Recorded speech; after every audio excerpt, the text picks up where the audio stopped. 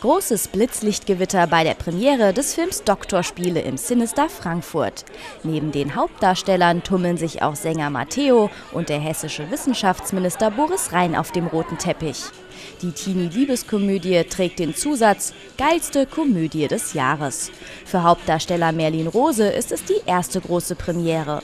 Oh, ich bin ehrlich gesagt noch ein bisschen überfordert damit. Es ist auch meine erste Premiere. Also es ist, es ist schön, ich genieße es natürlich auch, aber ich bin aufgeregt. Es ist alles total verrückt.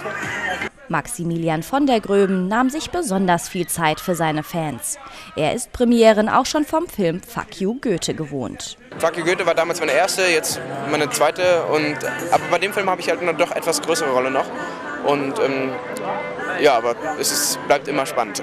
Der heimliche Star allerdings war der Schauspieler Janis Niewöhner. Er ist momentan auch mit dem Fantasyfilm Saphir Blau im Kino zu sehen. Beide sind spannende Genre und beides gucke ich mir auch so im Fernsehen an.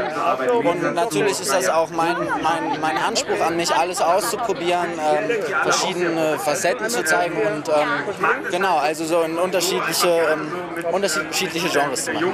Auf dem roten Teppich zu sehen war auch Sänger Matteo, bekannt geworden mit der Band Culture Candela. Sein Song Unperfekt ist das Titellied zum Film. Es gab ja mehrere Songs, die in Frage gekommen wären. Und dann, nachdem wir den Film geguckt haben, meinte ich, klar, ja, der Song ist es. Ähm, ja, so, so kam es und so ist es jetzt. Jetzt bin ich hier und ich bin sehr froh darüber. Der Film wird wohl das Herz der Frankfurter höher schlagen lassen. Denn die Dreharbeiten fanden in der Mainmetropole statt. Unser Regisseur hat halt eine, ähm, eine Stadt gesucht, die noch nicht so abgefilmt war. Also die man noch nicht so sofort erkennt. Und das ist natürlich Frankfurt. Der bietet äh, so eine Urbanität, die sehr großstädtisch wirkt.